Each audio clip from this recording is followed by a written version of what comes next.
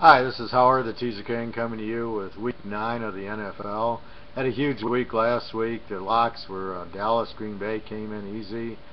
Uh, I wish all the locks were that easy, where they're over, you know, by the fourth quarter. I I could uh, light the victory cigar like Red Auerbach used to. Uh, this week, I have a few strong games going.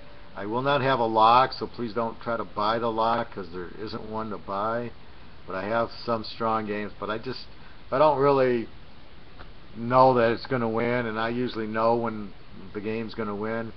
Uh, I won't uh, I won't just lock to lock, but there are uh, I have a good three four really strong games going. Um, this is a kind of a weird week. I don't have Denver and San Francisco to play. Seattle's lane 16. I don't have Jacksonville and Detroit to go against. Uh, so it's a very difficult week to really find that lock. Uh, the teams that I like to play aren't there or play against. I'm very much in one of playing the strength and playing against the weakness.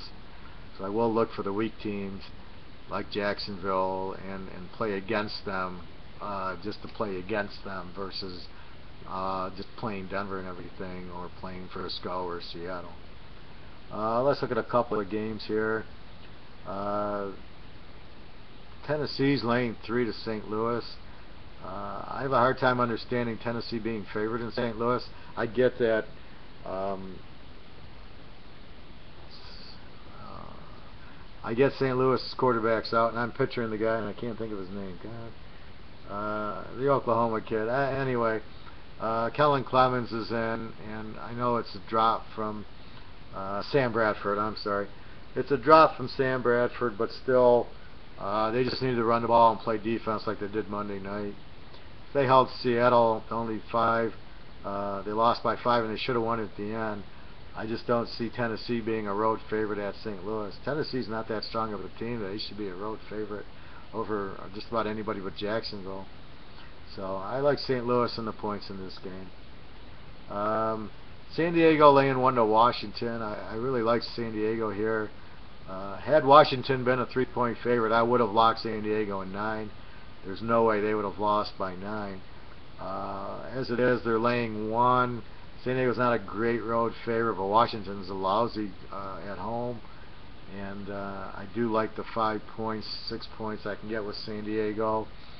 Uh, they should definitely stay in there. They should win the game. Uh, Washington doesn't look very good. Their defense is very weak. The secondary is very weak. Uh, so Rivers should have a field day in this one. I, I like the five points there. Um, Seattle laying 16 to Tampa Bay is a bit of a high number. If it was anything where I could get under seven, I would have probably locked the game. But because it's 16, I hate. I can't. I can't lock uh, over a 10 point in the NFL. Uh, I know Tampa's weak. Uh, Mike Glennon is a joke. I don't know what he's doing in the league. Uh, but Seattle lost Sidney Rice, and they just all they got is Golden Tate now. Uh, Marshawn Lynch will run the ball more, but again, that leads to field goals, and that that doesn't. You know, you got to lay, you got to win by 10 in the NFL. It's just not that easy. So Tampa should put up a fight, but I, I mean Seattle will win the game. I'm not worried about that. But you saw them at St. Louis on Monday night. They only scored 14 points. Uh, St. Louis has a better defense than Tampa, but again, Seattle doesn't have their tackle, so makes it a very tough game. So be careful with that. Take, play Seattle, but take them lightly. They're not um, pl uh, playing on all cylinders, but they will pick Mike Glennon at least three times.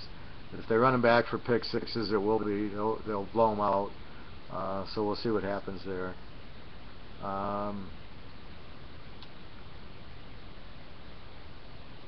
one other game. Uh, let's look at Dallas is laying uh, nine and a half, ten to Minnesota.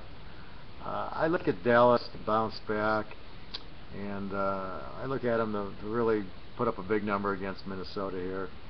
Dallas is uh, at home has played better.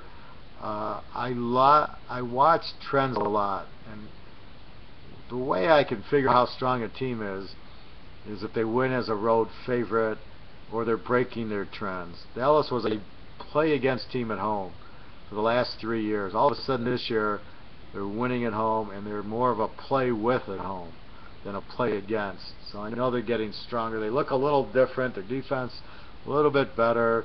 Romo's not throwing as many interceptions as he usually does. But uh, Minnesota's just terrible. And I don't know why when you got Adrian Peterson how bad you can be, but if they think Josh Freeman's any good, I, I mean, I'm going to go apply for the GM job at Minnesota because these guys are clueless. Josh Freeman's terrible. If he was so good, why would Tampa let him go? And Tampa is terrible this year. Um, Christian Ponder, again, I you can watch one of my old videos that said, "What the hell are they drafting him for?" Uh, I just don't get it. Um, I don't. I just don't like Christian Ponder. I don't like Josh Freeman. And you haven't answered any of the questions. I mean, don't they know how to pick a good quarterback? It amazes me. I watch college all day tomorrow. I'll watch tonight's USC game, and you'll sit there. Now here's Sean Mannion from Oregon State. I think he's got 33 touchdowns and like two or three interceptions. Obviously, he's a good quarterback. He's obviously better than Ponder and and uh, Josh Freeman. I mean, maybe try drafting a guy like that who knows where to throw the ball, doesn't throw it all interceptions.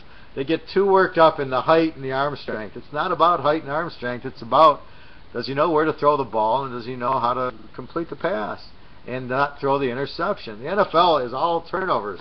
You don't have turnovers, you're going to win. I mean, uh, it's just the way it is, and that's the problem in, in, in football. It's the turnovers. That's why you lose. So, you know, you get a quarterback who doesn't turn it over. Well, Christian Ponder and Josh Freeman both turn it over. Anyway, I don't see Dallas having any problem here. Um, at least winning by double digits uh, really should be uh, not too much of a problem. Anyway, uh, you can go to the website www.teaserking.com. I got some uh, pretty strong games in the pros, uh, also in college, and uh, no locks. I haven't, I didn't find that game, but I have some really strong games. Uh, so anyway, uh, www.teaserking.com. Uh, again, the special of uh, 350 for the rest of the year for all my games through the Super Bowl, and includes all the bowl games and the playoffs, as well as everything remaining. Uh, good luck. I hope you guys make some money this weekend, and uh, have a nice weekend. Please leave me comments or whatever, and uh, if you want to talk about some games, I'll let you know. All right, have a nice night, everybody. Thank you.